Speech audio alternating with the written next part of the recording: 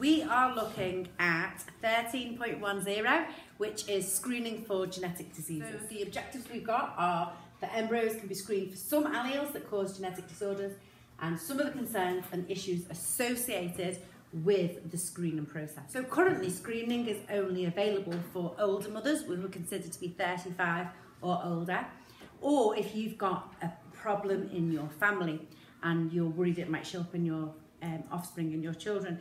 So for women over the age of 35, there's an increased chance of genetic disorders because of course those eggs are 35 years old.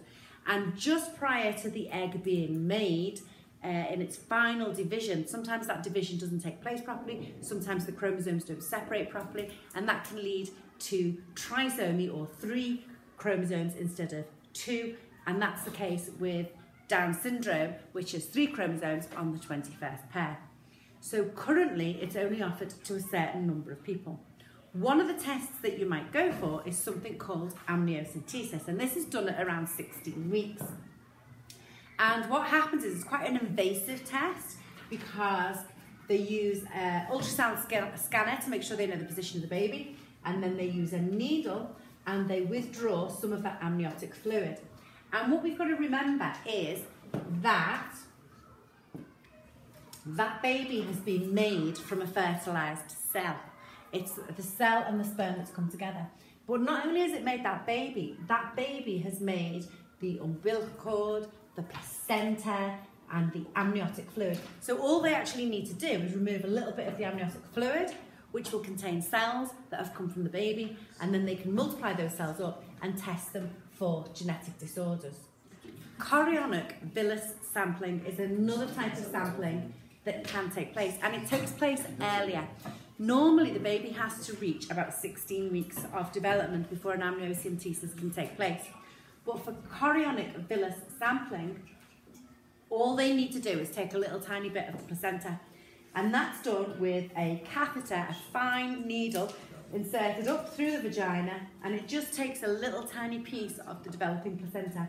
Again, they'd use an ultrasound scanner to make sure that they're hitting the right part and they're not taking a bit of uh, the baby or the amniotic sac or any of those things.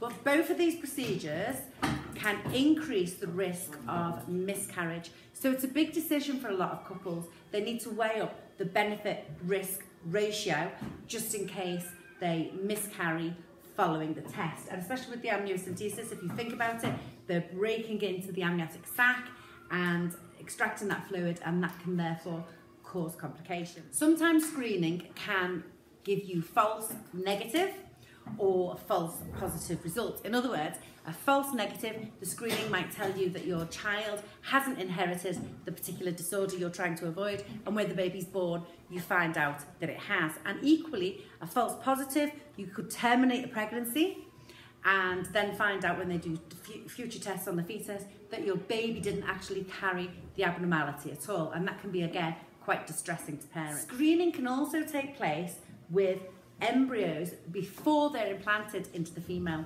If a female is going for IVF, she might have seven, eight, nine different fertilized embryos to choose from, and they can take a few cells from each of those and find out which of those developing embryos don't have the abnormality, and they can then implant those. Ethically, there are reasons against having screening.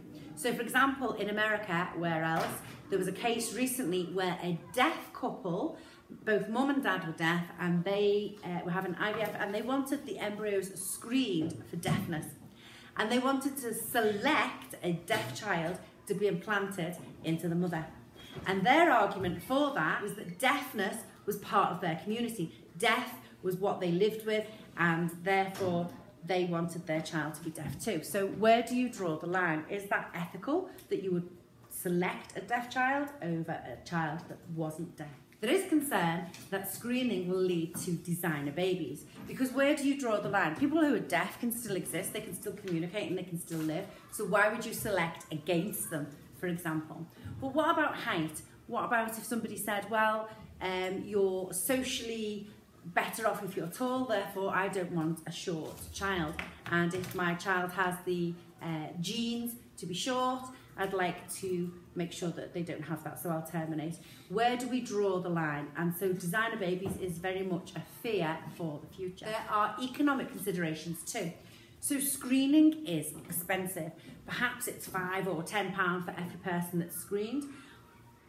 But then if you don't screen and then a baby is born, the cost of intensive care, of numerous surgeries, of house adaptations, of constant care through their lives is massive. So the economic considerations have to be really carefully thought about. So let's just recap. There are genetic disorders that are passed on from parent to child. If the parent is older or if those genetic disorders exist in the family, screening can take place.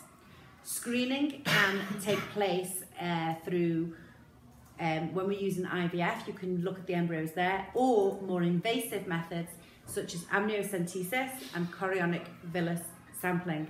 The problem with those is number one, they can increase the chances of miscarriage. And number two, the idea that maybe we'll be one step closer to designer babies because what might be ethical and right for one person isn't necessarily ethical and right for the other person. In the future, it's hoped that doctors and scientists will devise a way of going in and fixing those genetic abnormalities so that this level of screening doesn't have to take place. The other disadvantage is that we can sometimes get false negatives and false positives. And that rounds up chapter um, 13 and lesson 13.10.